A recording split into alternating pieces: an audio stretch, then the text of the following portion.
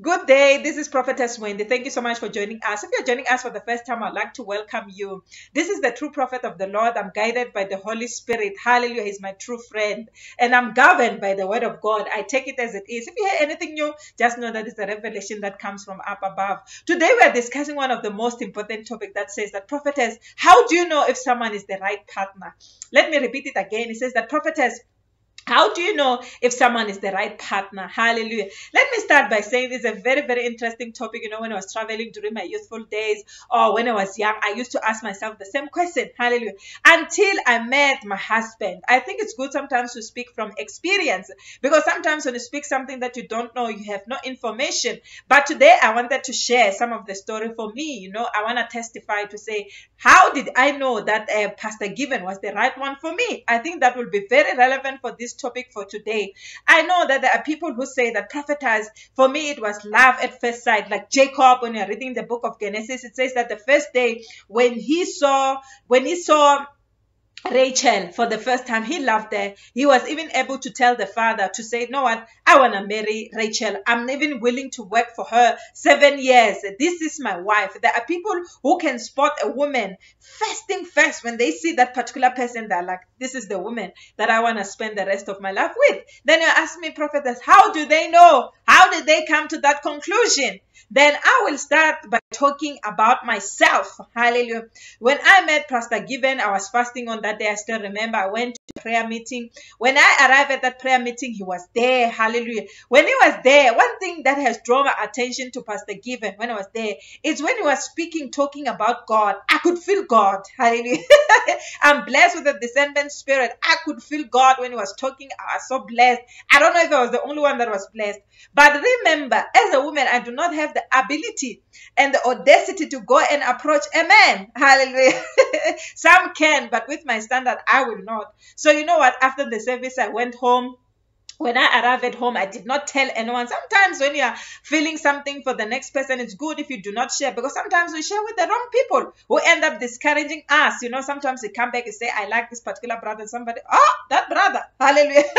and then you end up saying, uh, yeah, ne? no friend, no. So sometimes, you know what I did? I came back home. I sat down and I begin to speak to the Holy Spirit as my friend. I begin to tell him that the Holy Spirit, I've seen a young man today. Hallelujah. And the Holy Spirit said to me, What do you love about this man? I said, I like the fact that he has God on the inside. Hallelujah. and the Holy Spirit asked me a question. Do you I said, Yes.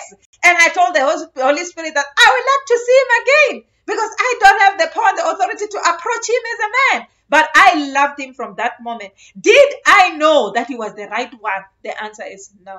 Let me not lie to you. Let me not anything. I didn't know. I just felt like I loved him, but I was not aware that he was the one. Hallelujah.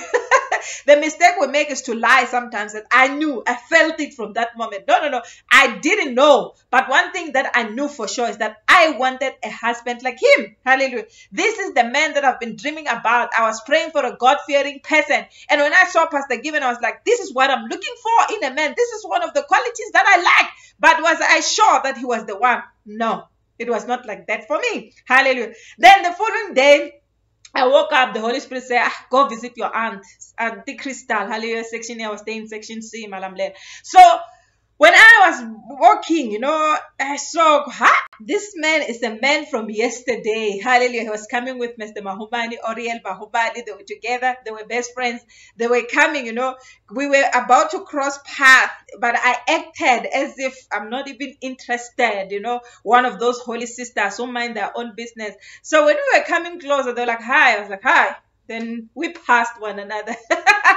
we did not say anything to one another. But the funny part, when I'm sitting with Pastor Given each and every day and ask him, when did you start loving him, me? Hallelujah. When did you fall in love with me? He says that, you know what, the, the, the first day when I saw you, it was, uh, for me, the first day when I saw him, it was at that prayer meeting. But for him, he says, he saw me a day before. Hallelujah. It was more or less like Ruth and Boaz situation where Boaz saw Ruth and begin to talk about her and begin to ask people who is she, you know. So pastor said he had his own conclusion to say if a woman is beautiful, he says, I quote from him. It's not coming from me. Hallelujah. the beauty is on the behold of the what? I don't know. It's English. So they say that um oh sorry he says that he saw me i caught from him says that he saw me but one thing that came to mind was say this girl is so beautiful. And if she's beautiful like that it means she already has a steady boyfriend so i'm not gonna bother talk to her. So what do i have to say? He says openly to me i never liked you first day. Then i ask him then what attracted you to me then? He says you know during the time of that prayer meeting I, I was I was at the back, he was in front. Hallelujah. So he says, when I was praying, he felt God. he felt the presence of God. He said, How? a woman cannot pray like this if she's naughty. If she has got a lot of boyfriends, she cannot pray like this. That is when he began to do his research and people begin to tell him about me and my character and where I am in life. So from that moment, he says, That was the moment I began to fall in love with you. So I asked him, Did you know that I was the one? he said, Mm-mm. Hallelujah. So let's not lie. For me, I didn't know. But there are people like Jacob, the other people, when you read books, they'll tell you that it was love at first sight. Some will tell you it developed over time, like us. The pastor didn't love me at first sight. Hallelujah. He had his own ideas. He had a lot of things to say about me. He was judging a book by its cover. Hallelujah. But for me, when I saw him the first time, I just liked him. I liked what I saw and what I had and what I was feeling. The presence of God when I was speaking, and I was convinced this man has God on the inside. So going forward, the time came for Pastor Given to propose me. You know, when he proposed, you know, I acted like a dignified woman. If you're dignified, when a man proposes you, even if you know, hey, I'm dying, I'm dying on the inside, hallelujah. I said to him, give me a week, seven days. I have to go pray and ask the Lord and hear what the Lord has to say about you. and then when Pastor Pastor Given calls, he was like, you know, let me give an example. Maybe it's Monday today. We'll call on a Monday to say, Sister, what is the Lord saying to you? I said, Not yet. Not yet. You know, I'm still I'm still praying. Don't rush me. I'm still praying. But I already had an answer by then. It's just that I was playing hard to get. Uh, so what do I have to say to you? You might be watching me and you're wondering that prophetess, there's this type of guy that I am with now, but I'm not sure if he's the one. One thing that I can tell you for sure, what I did I follow the scripture from the book of Ecclesiastes. It says that young person, follow your heart. You know, it says be be happy while you are still young. Don't let anything worry you or cause you pain. You know, it says that enjoy each and every moment as a young person. But one thing that I've caught from that scripture, it says follow your heart. That's what I did. I had to follow my heart. When I was praying, I will not lie. I didn't hear, hear a voice from heaven saying, daughter, daughter as a prophetess, given is the one. No, no, no, no. One thing that the Holy Spirit has asked me first day when I was having a conversation about Pastor Given without Pastor Given being present, the Holy Spirit said to me, Do you love him? And my answer was like, Yes. And the Holy Spirit just says, Leave it to me. he did the rest. And then I had to, uh, you know what? Ah, I thank God, man. It's good to walk with God. God always guides you to the right path. So, what do I have to say?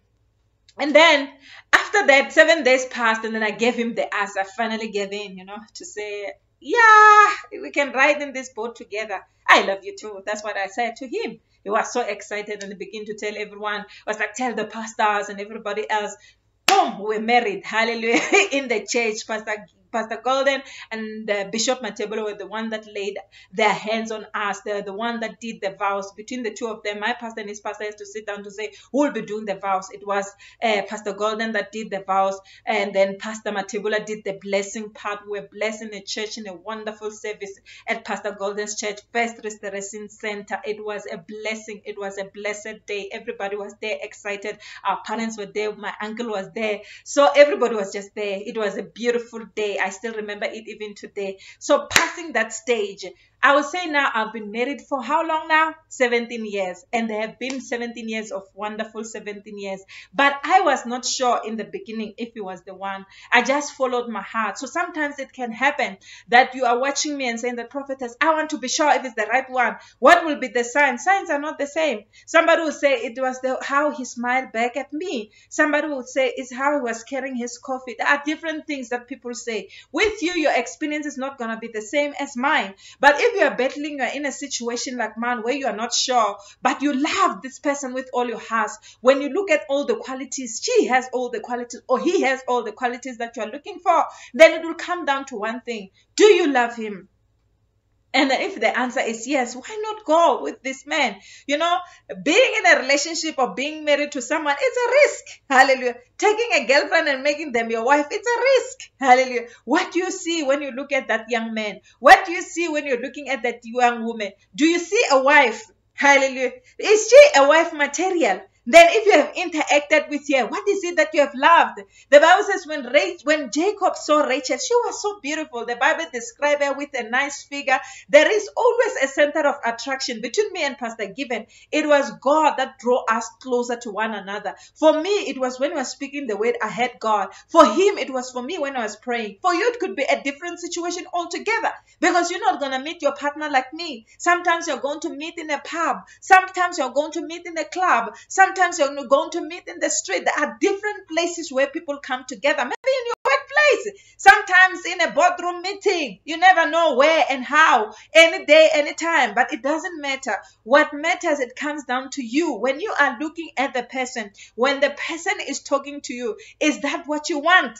Don't just fall in love with a person because others are getting married. Fall in love with a person. The Bible says in the book of Ecclesiastes, it says that drink and eat and enjoy life with the woman that you love. It must be the woman or man that you love. Hallelujah love 100% because if you don't love a person now you say ah maybe the love will develop over time. Hallelujah. Or maybe now there are signs that god has shown you this is not the right person. With me when i was traveling there will be boys will be coming to propose me. But as much as they were coming to propose me there were signs that i'll see. Sometimes find somebody flipping their phone trying to show off their car trying to impress the sister. It will be a duh for me. Because i was not looking for that. I was not looking for materialism. I was looking for a man with a God's heart, after God's heart. Not exactly like David, because David can never be replaced. But I was looking for somebody who loves God with all their heart, somebody that I can be able to pray with. What are you looking for? Hallelujah. Have you found what you're looking for in the person that you're with? Have you found what you're looking for as the person that is after you? Because I know as women, we have five brothers waiting, oh, or got different type of guys coming to us, trying to hook up with us. So out of the five that are trying to hook up with you, is there one that you see things that you like, that you love, that you see, okay, I can go. You know, marriage is, is, you know, the book of Amos said one thing that I love before closing. It says, can two travel together unless they agree? You know, there must be an agreement. You know, agree about the time, the venue, and the date. When you are dating someone, it goes to what the Bible saying in the book of Amos. Can two travel together unless they agree? You have to know, okay, when we start dating, when when are you going to ask me, hallelujah, to marry you? When are you going to introduce me to your parents? Those are the questions that we should be asking because sometimes we're afraid to ask this type of question. You find that years are passing. Now it's three years you being a girlfriend. He has never introduced you to his sisters. He has never introduced you to anybody. But yet you find that you're fulfilling your, your duty. You're acting as a wife, but you're not yet a wife fulfilling your responsibility as you're supposed to in a relationship, but only to find that the man not yet pop up the question. So it's always good to ask, where are you taking me in this relationship? Where are we going? Hallelujah. Then those are the quick things that you need to know. If it's a year, a year has passed, ask him, you know, it's already a year. What's stopping you from making me your wife? There's nothing wrong with asking because if you don't ask, you will die with pain and, and, and a lot of things in your heart, you know. Sometimes it's good to ask. Sometimes you will end up being open. I'm not ready.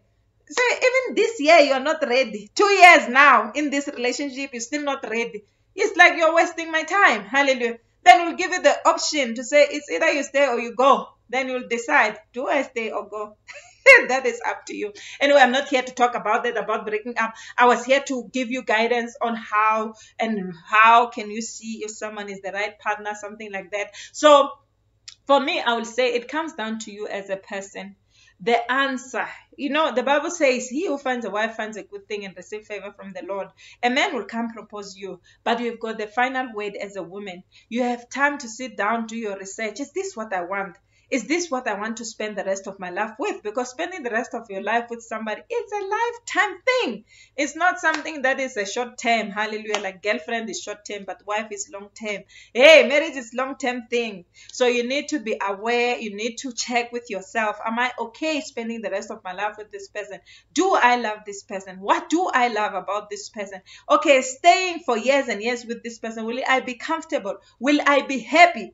Then if you are happy and the answer is yes, I love this person, why not go for that person? If you're not feeling anything and if you're not sure, follow your heart. We are not the same. There are those who are sure from day one, but there are some people who are like us who are not sure. But in the long run, if you can ask me the same question now, is he the right one? The answer is yes. I've spent 17 years with that man, hallelujah. And I don't see myself with any other man but him alone. I love him to death. That's how much I love my pastor. That's how much I love my husband, the father of my children. Now, after spending time with him and being with him, being in this thing so called marriage, I know for sure that this is the man that I want to grow old with, like Sarah and Abraham, but not me being buried first. like Sarah, but if that is the will of God, then let it be. I love you. Thank you so much for watching. I hope you have learned something for today. May the Lord of heaven continue to bless you wherever you're watching us from. This prophetess, thank you for watching this video from the beginning to the end. If you're watching me for the first time, there's still other videos to watch. Hallelujah. Click on them. You'll see, you will learn something. But for sure, I by the Holy Spirit. He is my teacher. He is my guide.